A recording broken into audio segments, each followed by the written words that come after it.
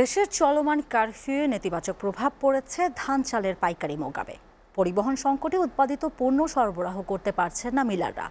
অন্যদিকে ইন্টারনেট সেবা বন্ধ থাকায় কমেছে আর্থিক লেনদেন।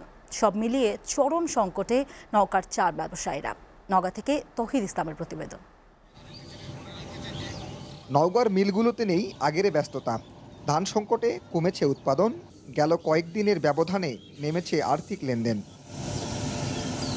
অন্যদিকে পাইকারদের আনাগোনা না থাকায় বন্ধ নওগাঁর বেশিরভাগ আড়ত। ব্যবসায়ীরা বলছেন পরিবহন সংকটে চাল সরবরাহ করতে পারছেন না তারা। গাড়ি চালের দাম দশ লাখ টাকা কী হয় না হয় আমরাও সাহস পাচ্ছি না গাড়ি পাঠানোর জন্য মোকাম থাকাও চাচ্ছে না। ধানের সরবরাহটাও সেরকম নাই আবার গাড়িও পাচ্ছি না আবার আমরা তো চাল বিক্রি করব কাস্টমাররাও চাল চাচ্ছে না। করবেন? আমরা তো মনে করলেন মিলে মিলে মাল কিনে রাখছি। আমরা তো মালটা তুলে তারপর তো ঢাকা চিটাগাং এসবে পাঠাবো। ধান চালের বড় পাইকারি মোকাম উত্তরের জেলা নওগাঁ। দেশের সিংহভাগ চালের যোগান আসে এ জেলা থেকে। যানবাহন বন্ধ থাকায় ব্যাহত হচ্ছে রপ্তানি অলস সময় পার করছেন শ্রমিকরা।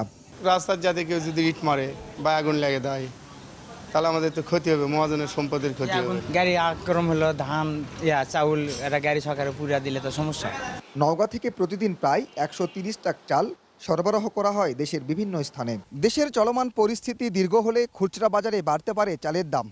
তাই সংকট নিরসনে দ্রুত সরকারকে পদক্ষেপ নেওয়ার দাবি জানিয়েছেন ব্যবসায়ীরা। তৌহিদ ইসলাম, এসএটিভি, নওগাঁ।